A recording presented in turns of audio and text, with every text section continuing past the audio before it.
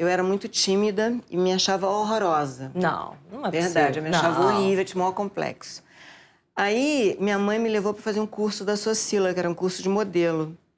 E aí, eles me acharam magra, interessante e me deram o curso de presente. Mas, por exemplo, eu não queria ser famosa, então eu não saía da, da praia para ir tirar, fazer as capas das revistas. Eles faziam lá mesmo. Eu tenho várias capas que eu fiz no arpoador, sem maquiagem. Eu trocava o biquíni na, na água, trocava o biquíni e ia e fazia sem maquiagem nenhuma naquela luz mesmo do arpoador. Você não queria nem ir pro estúdio, tanta vergonha que você tinha? Não, aí eu já não tinha mais vergonha. Ah, sim. Já, já sim. Mas você era muito tímida, então? Então você fez No o curso porque é su- pra perder a timidez, É, não é pra, pra poder se aprender- relacionar com as Porque eu pessoas. não conseguia nem comer perto das pessoas. Não acredito. É, e me achava horrível. Mas o que, que, você, que, que você se olhava assim? O que, que você não gostava em você? É porque eu era muito alta, muito magra, e aí no colégio falavam mal disso, entendeu? Gente, que loucura. E É. você era, assim, então, uma criança triste? Como que era? Eu era super triste. Porque eu Assim, tenho essa reprimida?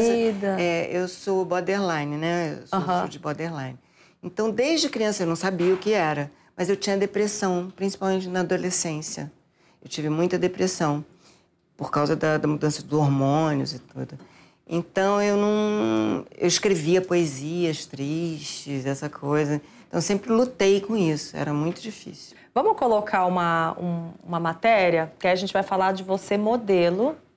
Olha Tá. só. Antes mesmo de completar 18 anos, Monique Evans começou a fazer sucesso como modelo. A estrela teve grande destaque entre os anos 80 e 90 no Brasil, tornando-se uma das modelos mais famosas que o país já teve. O sucesso foi tanto que ela estampou dezenas de revistas de moda e fez vários ensaios sensuais para Playboy e Sexy. Em toda a sua trajetória, foram mais de 50 capas de revistas.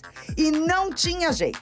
Só se falava da linda Monique Evans nas bancas de jornais. Nossa, quantas capas. Não, uma mais linda do que a outra. Tem alguma capa dessas assim que você vê que foi especial, assim, que você se recorda, Ah, que você amou todas eu gosto. Cada uma Mas- tem um momento, assim. Mas- Tem a da Vogue que eu gosto muito. A É. capa da Vogue. É bem linda. Mas cada, cada E momento. como que foi assim o primeiro convite para modelar? Porque você não era uma coisa que você almejava, nem passava pela sua cabeça, as coisas É. foram acontecendo. Qual- como que foi o chegou o primeiro convite? Então, o primeiro convite foi, Foi nesse curso. nesse curso É. que E eu comecei fez. a desfilar. E na época o pavilhão de São Cristóvão é que era fechado e tinha os desfiles lá dentro. Então eu tinha que ir com os pais, porque eu era menor de idade, essa coisa toda. Mas eu comecei com 14 anos. Com 14 anos, e te deu um frio na barriga quando vê essa proposta? Ó, você tem, você tem um perfil de modelo, Monique. Você é linda, alta, magra, totalmente diferente que toda a galera lá do colégio falava de É.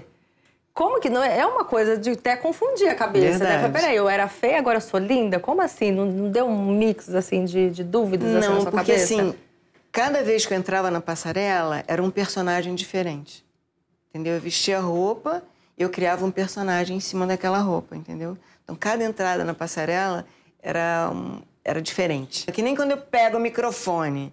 Eu pego o microfone, não sou mais eu. Aquelas loucuras que eu fazia aí no TV Fama, no Noite Afora.